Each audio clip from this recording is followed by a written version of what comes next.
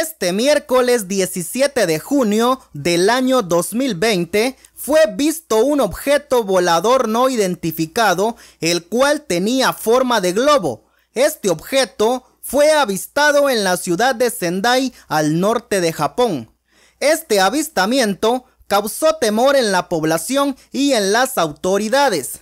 Parece un globo para observar meteorología, pero no es nuestro, dijo el jueves a la AFP un responsable de la oficina de Sendai de la Agencia Meteorológica de Japón.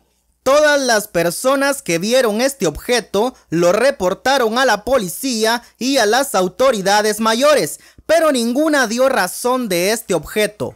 La policía informó que envió un helicóptero para confirmar la presencia del objeto, pero no supo definir de qué se trataba. Las fotografías que fueron tomadas con acercamiento de cámara zoom mostraban que tenía paneles solares. Las autoridades le perdieron el rastro cuando este objeto tomó dirección al Pacífico. En conclusión, se trata de un globo para observar meteorología, pero no se sabe a quién pertenece.